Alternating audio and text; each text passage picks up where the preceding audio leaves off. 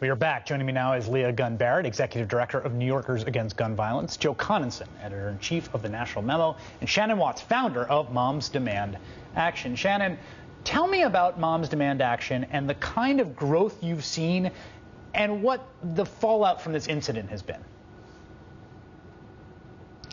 After the Sandy Hook shooting in December, I was looking for a Mothers Against Drunk Driving of Gun Reform and couldn't find it online. And it, it was amazing how much it grew so quickly. Here we are, just a year later.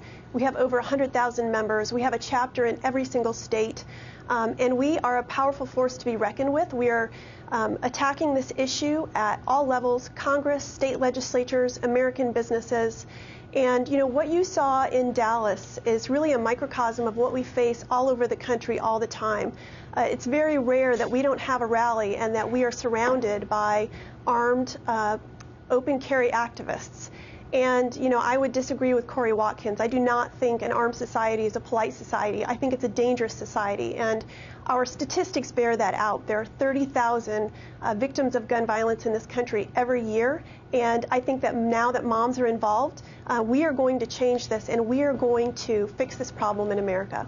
Uh, Leah, if you look at the traction on this issue, and I know you've, you've worked on this for, for some time, um, there was a kind of high watermark in the 90s under Clinton, the assault weapon ban. You had, I remember as a young political reporter covering races in which the Democratic candidate was leading with ads just about gun safety and winning in suburban Chicago districts, for instance. And then it just dropped off the table. And it dropped off the table in a way, I think, institutionally, right? I mean, was there a period where, like, it was hard to raise money, it was hard to get volunteers, it was hard to get speakers at conferences? Yeah, it was a very dispiriting time. Um, remember, George W. Bush said he'd have the NRA working out of his office when he was selected by the Supreme Court back in 2000. And I was working in Maryland at the time. A lot of my friends were in D.C. We got with uh, gun uh, safety groups, and they found it very dispiriting. It was hard to get anything done with, with a Republican president. We, at the time, had a Republican governor in Maryland.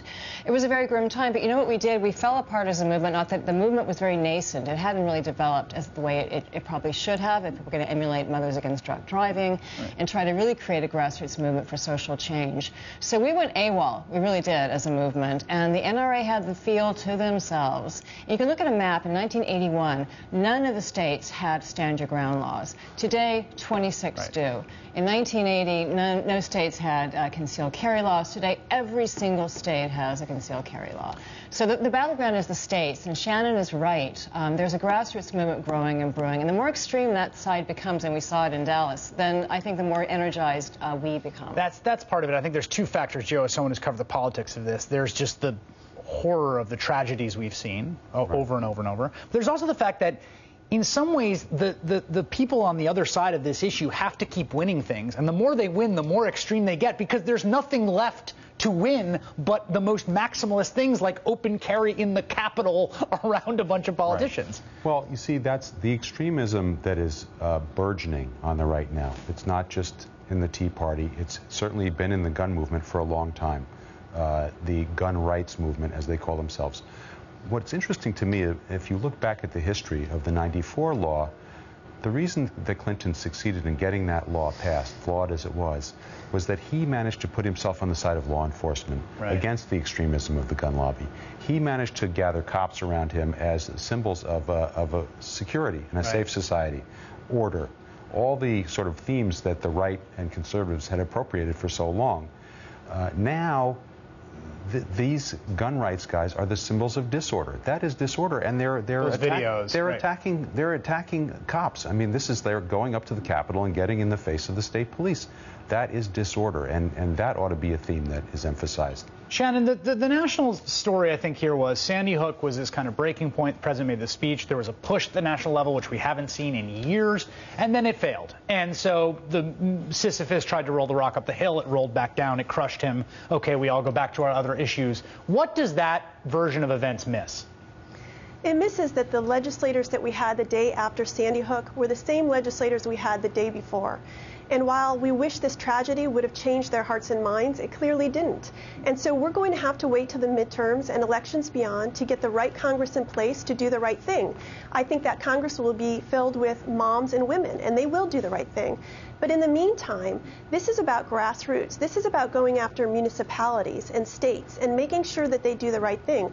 We've had huge wins in Colorado, Connecticut, Delaware, Maryland, New York. We had smaller wins in California and New Jersey.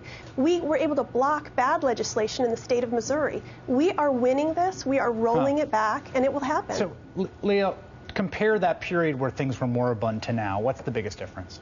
Well, I think the biggest difference is more people are dying from guns because they're more pervasive, and the uh, gun lobby has become even more extreme. They really back themselves into some kind of horrible corner. And I think most Americans are, are sensible and probably absolutely horrified um, by the actions of these uh, thugs in Dallas. There's no other word for them. They're terrorists. And you know, I had a correspondence with a, a gun owner in New, upstate New York who said, you know, he doesn't believe that you need to have an assault rifle with 30 rounds to go hunting. If you if you need that, then you need to practice right. your target shooting. Are the Democrats coming around on the politics of this? I think it'll be tough for them in this in this cycle, Chris, yeah. because they're they're already feel endangered now because of Obamacare, and then the rollout of the healthcare uh, website has been a disaster for them. At least that's how they feel. So taking further risks on guns is not what the only thing do. that will make them do that is pressure from below. That's Leah Gunn Barrett right. from New Yorkers Against Gun Violence, Joe Conason from the National Memo, and Shannon Watts from Moms Demand Action for Gun Sense in America. Thank you all. That is all in for this evening. The Rachel Maddow Show starts right now. Good evening, Rachel. Good evening, Chris. Thanks, my friend.